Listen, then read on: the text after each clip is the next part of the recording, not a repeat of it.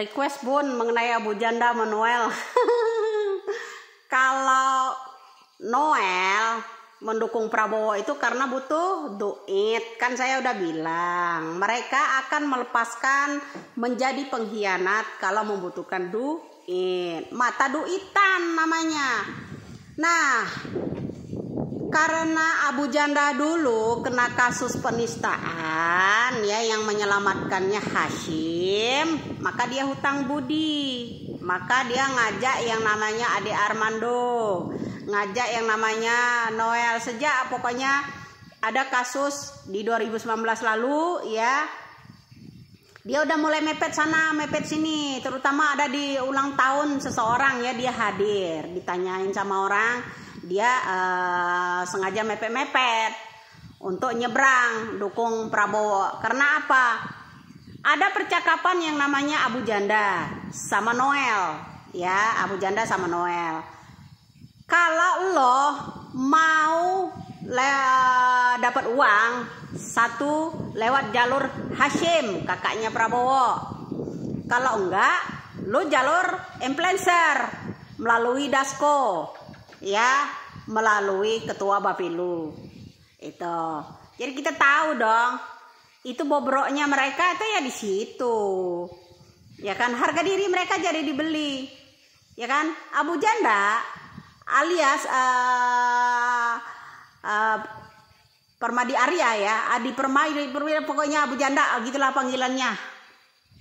Ya Permadi ya itu nyebrang karena dia hutang budi memang diminta orang dia di, dibayar orang makanya duit e, mobilnya udah mega mewah kan gitu mana tadi yang komen ini setiap hari ngoceh aja udah kaya raya udah maafan dan lain-lain ala pret kami walaupun kaya atau enggak atau miskin ya enggak peduli ya suara rakyat ini banyak masukan ya karena apa? Berpengaruh.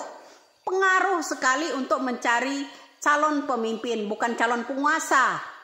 Bedakan calon pemimpin itu rakyat adalah sebagai tuannya, bukan bohir sebagai tuannya. Ya. Jadi seorang penguasa beda, Bro. Ya. Kalau program Bapak Jokowi nggak bakal dilanjutkan, ya amankan. Ya diamankan pokoknya. Ya aman, aman. Yang penting aman kalian ya. Nah begitu juga dengan kasus-kasus orang uh, yang seperti itu, Abu Janda, itu aman. Ya gimana? Semuanya aman, asal ada duit. Ya, itu pertama.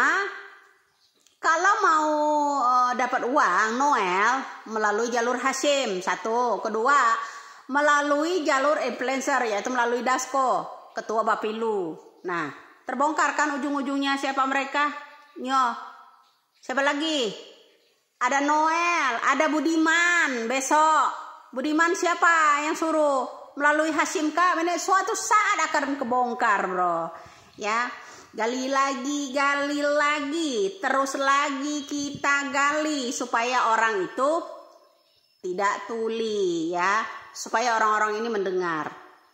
Kenapa kita harus bersuara?